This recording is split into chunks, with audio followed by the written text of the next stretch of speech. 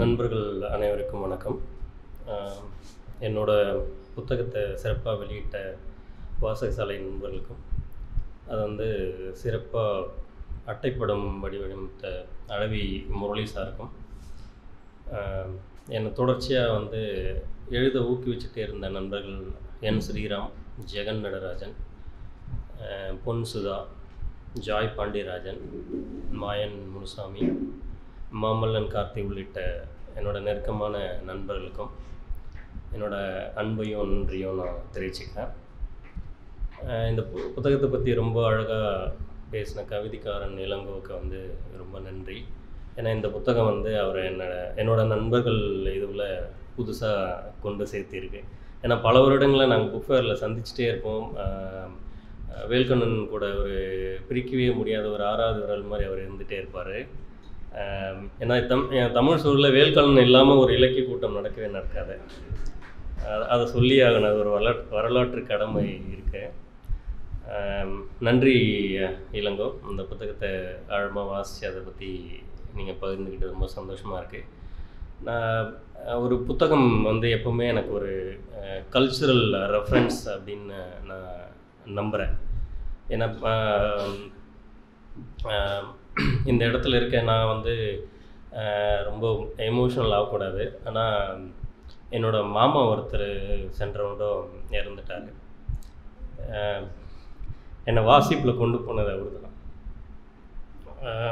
ரொம்ப எதிர்பார்க்காத ஒரு மரணம் அது. நான் பள்ளி முடிஞ்சு அவங்க வீட்டுக்கு தான் நான் போவேன் எப்போவுமே. அவங்க வீட்டில் ஒரு மிகப்பெரிய ரஷ்ய புத்தகங்களுக்கான ஒரு பெரிய லைப்ரரி ஒன்று இருந்தது. எனக்கு பதிமூணு பதினாலு வயசில் எனக்கு வந்து வாசிப்பு ருசியை வந்து உருவாக்குனது என்னோடய மாமா தேவமுருகன் தான். அவருக்கு நான் நன்றி சொல்ல கடமைப்பட்டிருக்கேன். அந்த பதினாலு வயசில் புரியுதோ இல்லையோ நான் வந்து தஸ்தவஸ்கி டால்ஸ்தாய் மக்சிம் கார்கின்னு சொல்லிட்டு நிறைய வாசித்தேன் என்னோடய சக வயது நண்பர்கள் வந்து அந்த வயதுக்கே உரிய ஒரு டீனேஜ்க்கான விஷயங்களில் ஈடுபட்டிருக்கிறப்ப நான் வந்து ஒரு பெரிய கால் புதையிற ஒரு பனி ஸ்டெப்பி புல்வெளியில் வந்து என்னோடய கனவுகள் வந்து அலைஞ்சிட்டு இருந்தது. அது ரஷ்ய இலக்கியங்கள் தான் வந்து என்னை உருவாக்குச்சுன்னு நான் உறுதியாக நம்புகிறேன் ஸோ அது அந்த இது முடிஞ்சதுக்கப்புறம் நான் ஒரு கல்லூரி படிக்கிறதுக்காக வேலூர் போகிறேன் இந்த வேலூரில் என்னோட படித்த ரெண்டு நண்பர்கள் இருக்காங்க மாயன் பாஸ்கர் ரெண்டு பேர். பாஸ்கர் இப்போ தான் ஒரு ஐந்தாறு வருடங்களா ரொம்ப நெருங்கிய நண்பராக இருக்கார். நானும் மாயனும் நிறைய கவியரங்குகளுக்கு சேர்ந்து ஒன்றா போயிருக்கோம்.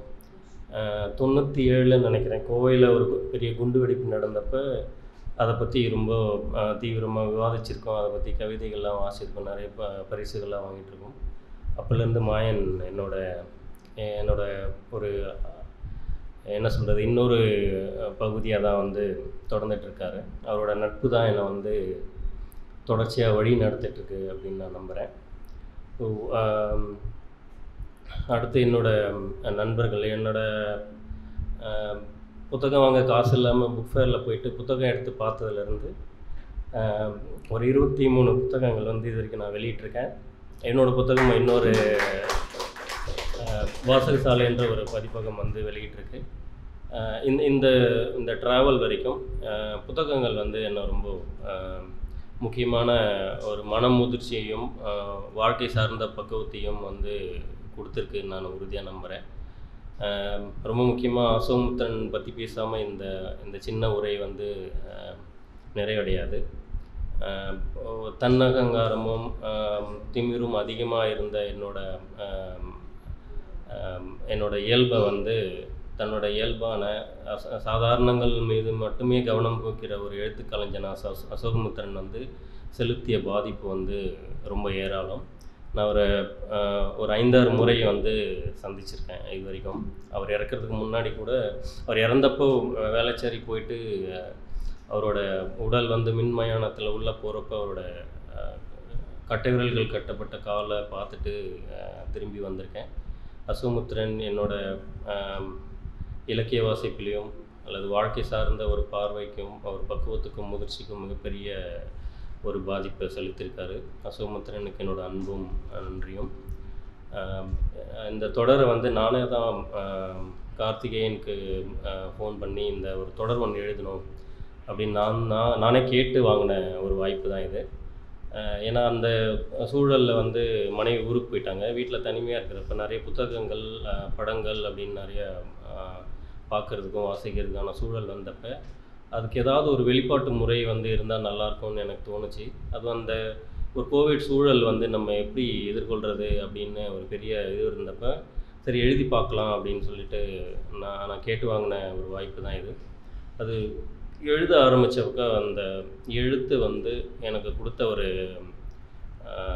மகிழ்ச்சி இருக்கு இல்லைங்க ஒரு சந்தோஷம் இருக்கு இல்லையா? ஒரு ஒரு ஒரு செயலில் வந்து நம்மளையும் நம்மளை மறந்து நம்மளோட செல்ஃபை மறந்து ஈடுபடுறப்ப அந்த செ அந்த செயல் கொடுக்குற ஒரு இன்பம் இருக்குல்ல செயல் இன்பம் வந்து எனக்கு ரொம்ப முக்கியமானதாக இருந்தது. எழுத்து வந்து என்ன அப்படின்றது இந்த தொடர் எழுதுனது மூலயமா நான் ஓரளவு தெரிஞ்சுக்கிட்டேன் அப்படின்னு நான் நம்புகிறேன் இந்த இதில் நான் குறிப்பிட்டிருக்கிற எழுத்தாளர்கள் புத்தகங்கள் எல்லாமே வந்து ரொம்ப எனக்கு ரொம்ப தீவிரமாக வாசிக்கிறதுக்கும் வாசிப்பு இன்பம் கொடுத்ததுக்கும் ஏதோ ஒரு வகையில் என்னை அது வந்து பாதிச்சிருக்கு ஏதோ ஒரு வகையில் என்னை வந்து வழி நடத்திருக்கு அப்படின்னு நான் நம்புகிறேன் ரொம்ப மகிழ்ச்சியாகவும் நிகழ்ச்சியாகவும் இருக்குது ஒரு புத்தகம் எழுதி அதை வந்து நண்பர்கள் வாசிக்கிறாங்க. அதை வந்து பரவலாக போய் சேருது அப்படின்றது ரொம்ப முக்கியமானது. என்னோடய வாழ்க்கையிலே ரொம்ப முக்கியமான தருணம் தான் நினைக்கிறேன். ஸோ வாசகசாலை நண்பர்களுக்கு நன்றி. இப்போதும் என்னோடய என்னோட உடன் இருக்கிற என்னோட நண்பர்கள் மாயன் மாமல்லன் கார்த்திக் ஸ்ரீராம் ஜெகன் பாண்டிராஜன் பொன் சுதாம் இசகி அஹ் பன்மடி மாதிரியான நண்பர்களுக்கும் நன்றி. ரொம்ப மகிழ்ச்சி.